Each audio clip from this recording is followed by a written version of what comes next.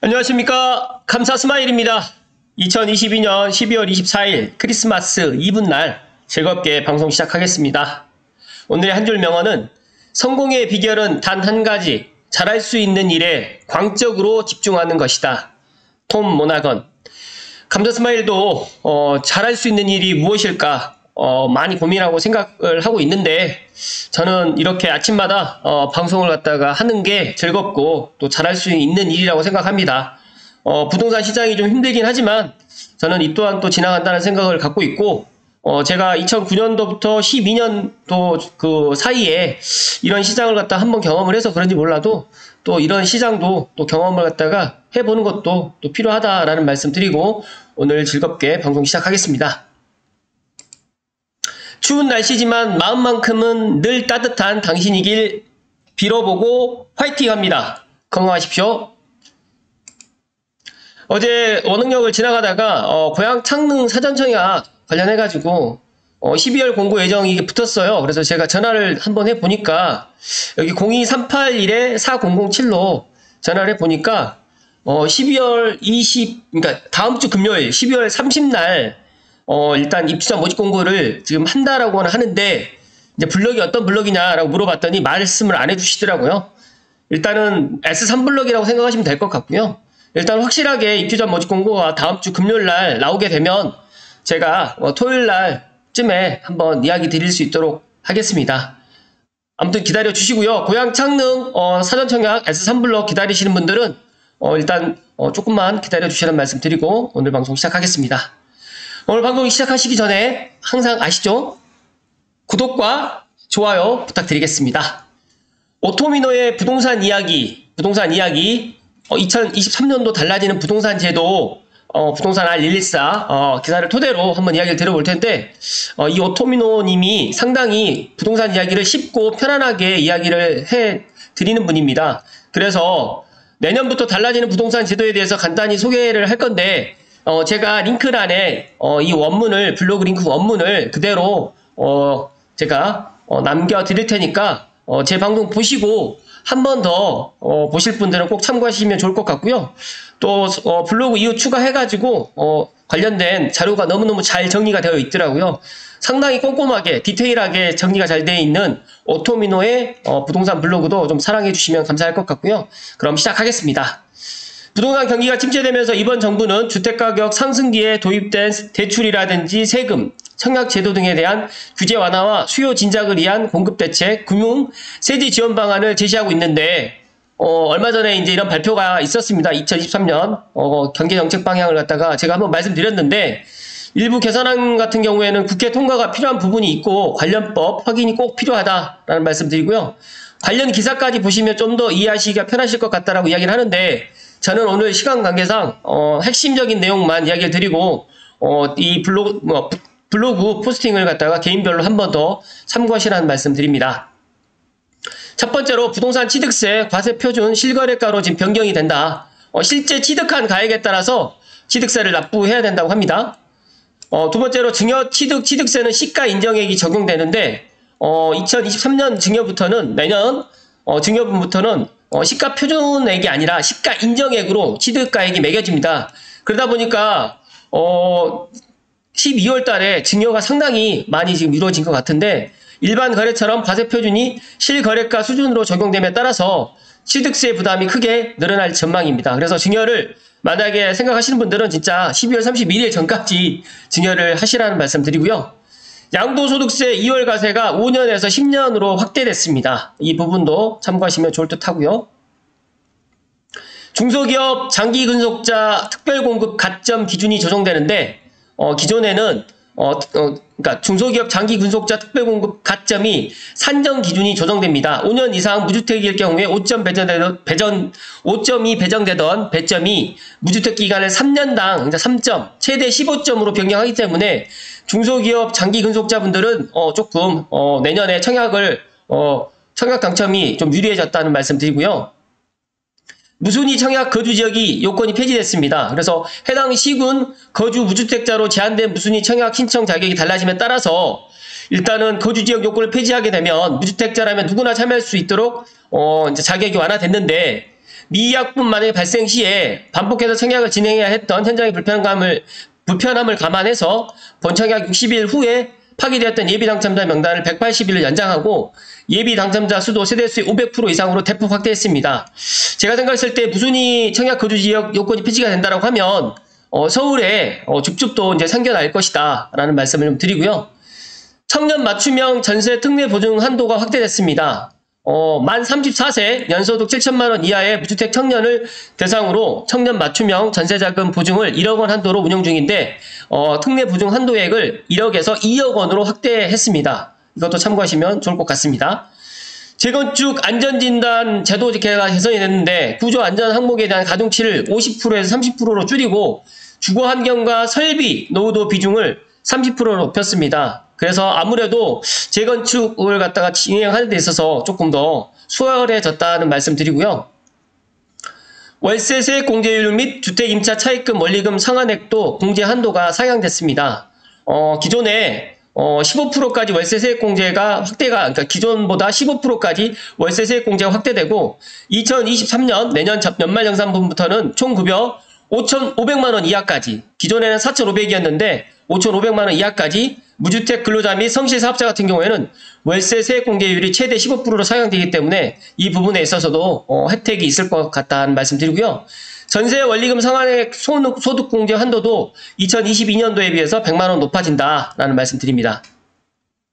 주택임대차 신고제도 개도 기간이 어, 내년 5월 31일까지 개도 기간을 1년 더 연장을 했는데 이것도 2023년 6월 1일부터는 신고 기간 내에 신고하지 않거나 거짓 신고가 될 경우에 100만 원 이하의 과태료가 부과될 수 있니 될 수 있으니 이런 부분도 주택임대차 신고제도도 확인을 해주시고요. 종합부동산세 기본공제 금액도 상향됐습니다. 종부세 기존, 기본 공제 금액이 6억에서 9억 원으로 상향됐기 때문에 보유한 주택의 공시가격 합산액이 9억 원 이하면 종부세를 내지 않아도 되고 1주택자 같은 경우에는 12억 원으로 조정됐습니다. 그러니까 이 부분도 꼭 참고하시면 좋을 것 같습니다.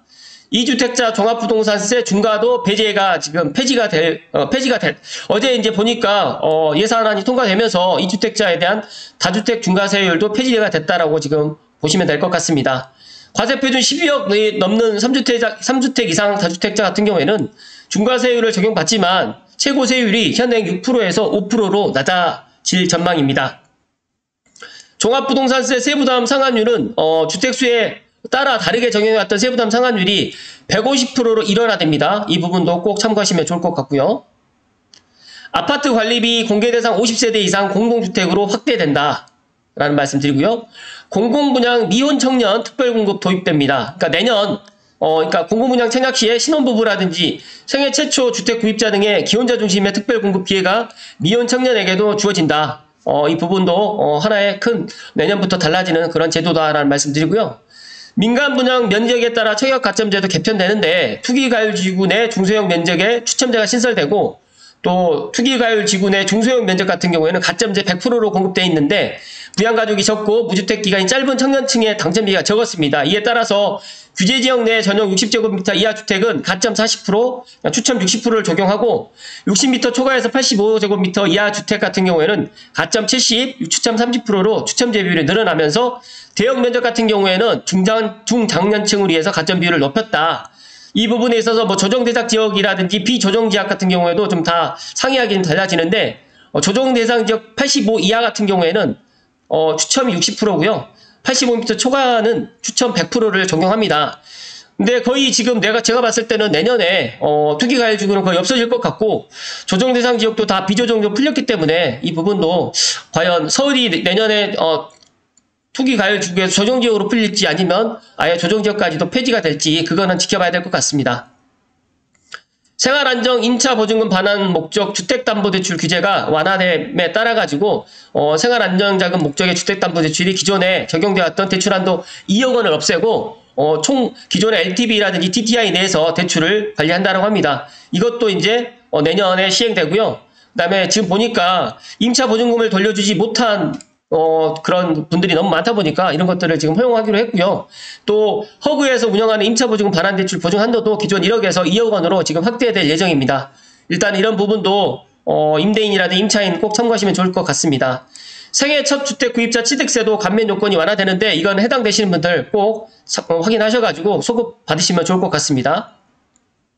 주택담보대출 채무조정 대상도 확대가 되는데 어, 고금리와 매출의 급감으로 상환 부담이 늘어난 차주에게도 채무 조정이 적용되는데 6억 원, 6억 원 이하 주택 차주가 실직이라든지 폐업, 질병 등의 이유로 대출 상환이 어려운 경우에 원금 상환을 최대 3년간 유예해주는 채무 조정 대상자가 탄력적으로 선정될 예정입니다. 이것도 상당히 좋은 제도인 것 같습니다. 그래서 내년에 상환이 좀 힘드신 분들은 이런 채무 조정 대상을 갖다 확대를 해서 어, 꼭 이런 어, 이런 혜택을 좀 받아 가시라는 말씀 드리고요. 서민 실수요자 주거 안정을 위한 특례 보금자리론이 출시가 되는데 제가 지금 확인한 바로는 1, 4분기에 지금 출시가 될 것 같고 어, 설 명절 전에 출시가 될지 아니면 설 명절 이후가 될지 모르겠지만 최대한 좀 빨리 좀 이게 좀 어, 시행이 됐으면 하는 게 제 개인적인 바람이고 그렇게 된다고 하면 안심전환 대출이 어, 기존에 이제 6억 6억에서 9억까지 대출 한도도 5억까지 그리고 어, 일단은 금리 같은 경우도 4% 고정금리로 지금 갈 것 같다 보니까 서민과 실수요자들의 주거 안정에 기여할 것으로 기대되고 추가적으로 이제 어, 퇴거자금 대출도 전세 퇴거자금 대출도 가능하다고 하니까 꼭 확인을 하시라는 말씀 다시 한번 강조해서 이야기 드립니다. 임대인 미납 국세 열람제도 실효성이 또 강화됐다라는 말씀 드리고요. 임차 보증금 경공매 시 당해세보다 우선 변제를 갖다 하겠다라는 말씀 드립니다. 그래서 아, 지금 깡통전세 문제가 또 심각하다 보니까 이런 것들도 내년에 지금 변경된다라고 함, 변경된다라고 생각하시면 될 것 같습니다. 어, 좀 빠르게 제가 이야기를 드렸는데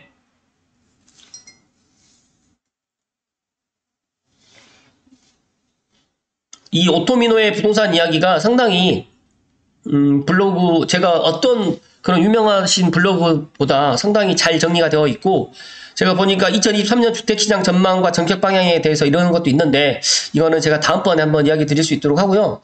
지금 2023년 보금자리론 확대 운영 관련해 가지고 함께 읽으면 좋은 글로 지금 되어 있는데 한번 잠깐만 한번 살펴보겠습니다.